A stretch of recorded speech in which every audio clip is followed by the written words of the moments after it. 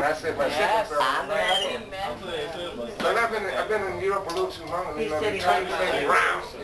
He liked my person. Well, we better get that Hey, series it's coming good. out first. What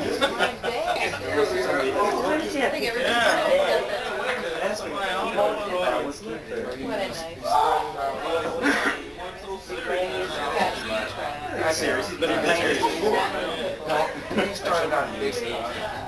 But he went to college me, do a business thing, and when he did that, and he doing that, and he had to move and find out where the job was, and he's in running his. And I called him up, okay, how far is it? Because I don't really like the idea of drive five hours to spend rats and all that. He's young, I do it every day. So. and, and put that input in, but I'm looking for Okay. the other one now. Uh, Gotta keep these things rolling, yeah. We do this thing. Rolling. Okay, Hey, looking forward to it. Roll 'em, roll 'em, roll 'em. All right, Mr. We're rolling. I'm gonna get some. Ooh, We- we just want- We'll be in Birmingham, we're gonna be here. Oh, yeah. Oh, We just want a few minutes with you. Hey, you know LaGrange, don't you? Illinois? No, LaGrange down at, uh, near Helena, between Helena and Marianna. That area I don't know. No, I left when I was too young to know that. Oh, really? I really don't know. Laurel, LaGrange. Like, like, Thanks a lot. like Madison, see, I went to Lincoln High School in Madison. Oh, I don't know where, where I'm saying, where White is located. All I remember is my name of my Cotton. Oh, yeah. Helena, Riceville. Wonder why we're the last We one were on one side of the here St. now. Francis River, and then we moved to the other side of St. Francis River. So Across the street. Yeah. Jim Gaines, the producer and I, we live like about three miles apart. Oh, wow. I didn't know that. Yeah. I learned something every day. Five, three, nine, six. Five, three, nine, six. Yes. Right. We're all right. They know John, John Baez. We're all Arkansas too. We're from Jones. We're I heard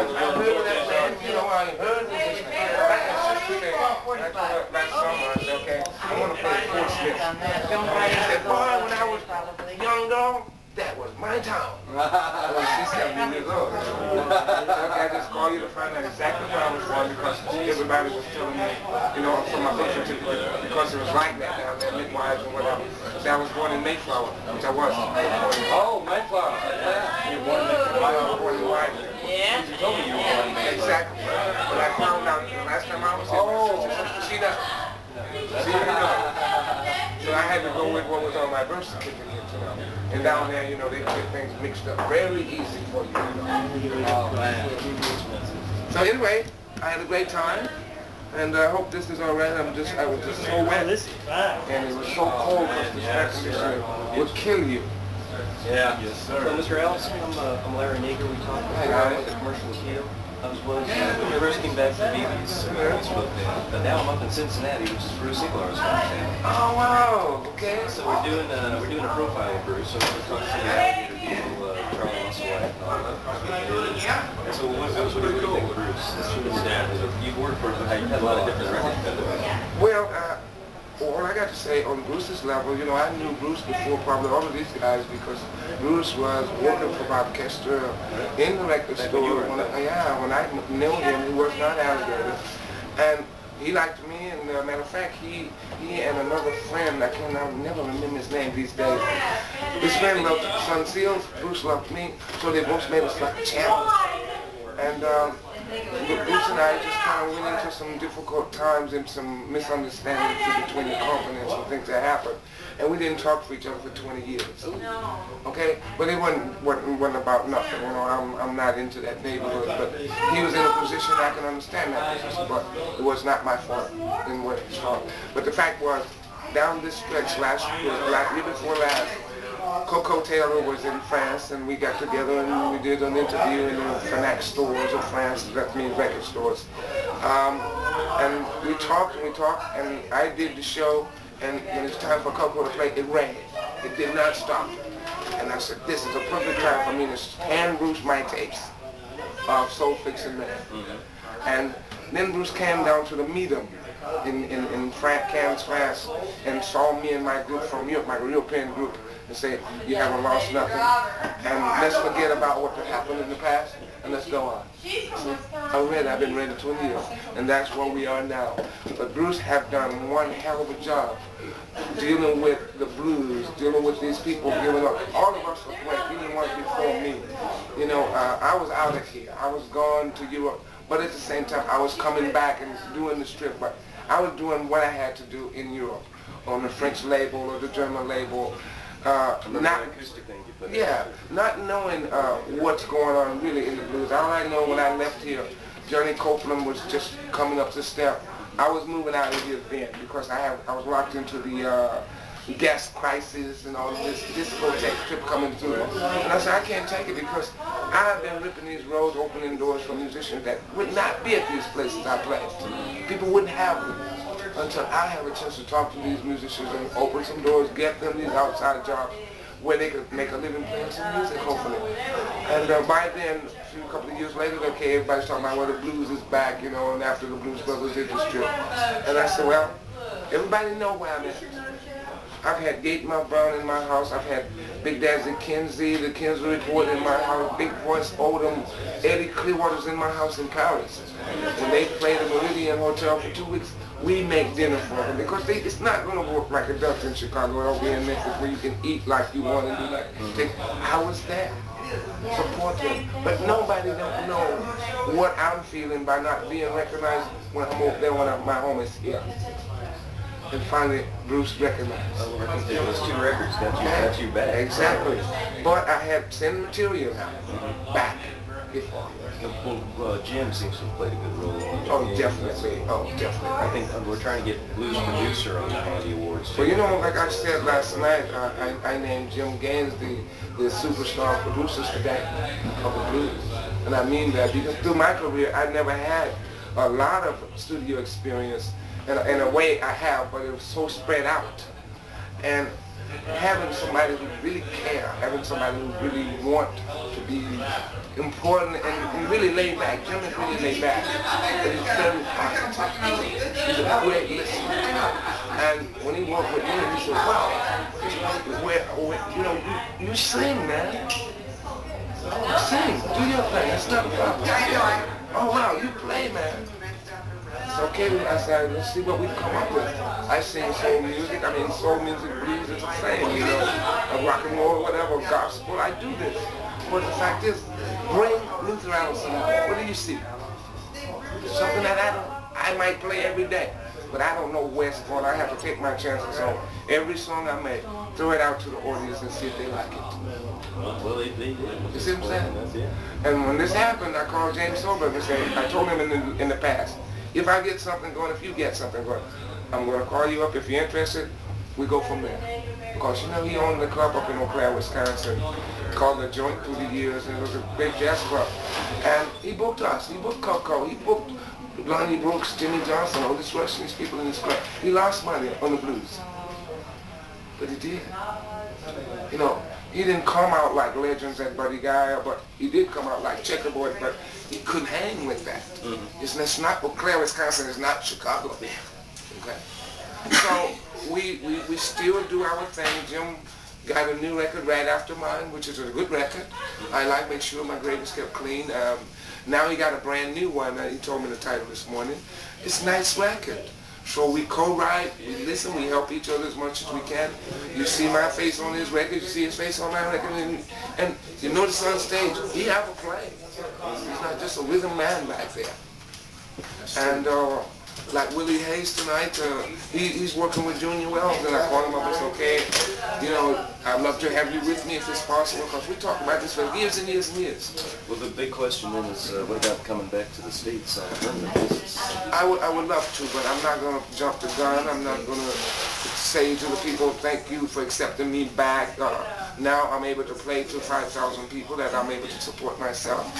Uh, I want to wait to see if people really is going to handle this situation right. You know, the blues is the blues, right on. You look at Buddy Guy today, Buddy Guy didn't just get there because he's a blues man. People talk, those important people talk to put him in the right light. A lot of us been up, Albert Collins coming back, you know, Uh, Luther Allison, I think, uh, I think I have something going that maybe the rest of them don't have. I am doing two sides of the world. And I am, I, I'm feeling good when I say I'm coming back home on tour. You understand? And last year I spent three months, maybe three and a half months, working back in my own home country. This year, it's going to be the same. And, and I'm trying to make sure I got three or four months to work in Europe, three or four months to work at home, have, have a month for me some rest, and a month for me to put another record together. And I think it's fair. Because if I move here, I can't stay in my house anyway. If I move in Europe, I can't stay in my house anyway. But if I move here, I want to move close to my son, maybe, for instance, or within driving distance. Come back to Memphis, I guess. We can go fishing. Exactly. was Well, gonna I love, I, I, love, I, Lake love, I Forest. love Memphis, but I don't want Memphis to become another Toronto where it's oversaturated with a whole bunch of people looking for breaks and chances in music and whatnot. Like Chicago was the same thing. We all died down there. The, the great guys got to leave us behind. And if we don't get lucky, we are left behind. You know, like I said, I'm 56 years old and almost, almost 57. And, you know, I'm, I'm feeling like the return of Luther Allison. But how am I returning? What happened? I was very visual the whole time I was here. Even when I left, I told people I can't take no more, I need help. I got an opportunity to go to Europe. The same as Champion Jack Dupree. The same as Jackie Slim, Mickey Baker, these guys who stayed. Dee Dee Bridgewater, who's in Paris right now, who has gotten a break. Lucky Peterson is in France now, who's got a great break. But I open those doors. How, how is it that uh, the European audiences seem to accept the blues a little more than, than say over here? Well, actually, the European market, there's a lot of open air festivals like tonight. There's a lot of theater, theaters where people go listen to the blues. The promoters put the blues, the gospel, the jazz together. The, so- the, the so- socialist music, the reggae music together. We have to put blues here, rock and roll there, jazz over there, gospel. No. Put it all together. You got to put it where everybody here and make a choice. Kids love it, but if they don't know they love it, they don't know. That's radio. Exactly. And television, we got to have it. Europe, you're going to see video clips of Luther Allison, a show, a live show. A Lucky Peterson of my son Bernard Allison, and over here, who is Bernard Allison? Who is Lucky Peterson? Who's a lot of people? Over here, we hard to get a name in a newspaper or in a magazine, in a musical book. It's hard. It is hard. Before I left, after I came back from being stranded in California in 1968, 67, I heard a word called Blue Society. I got to Europe, I saw what a society meant, like a government supporting musical programs mm-hmm. in France, in Germany, in Switzerland, or whatever. And I look back and say, how come the American, the great America, can't understand this, can't put this together? How come we can't get in that hood and make it work? That's mm-hmm. why I wrote the song, We It's Move American from the music. Hood. It's American music too. Yes. It started. How come, basically, how come we could not move and play a song like a Chuck Berry song unless we were called rock and roll? Mm-hmm. But how come the rock and rollers can come now and say, we return to the blues? You understand what They're, they're all playing the blues. Exactly. All the rock bands are playing Exactly, but some, some of the people are saying, look guys, you're not playing the blues. blues. They're, they're taking it. You got a French musician, or you got you still got a white musician. No, that's stupid. That don't make sense. Anybody. Okay.